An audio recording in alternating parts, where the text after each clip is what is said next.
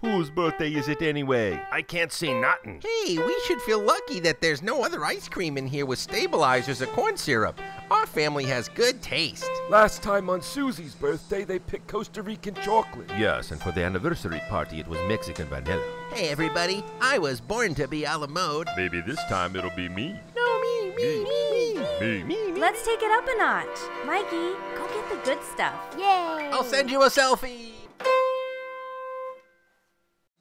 Anyone know what happened to the popsicles? You don't want to know.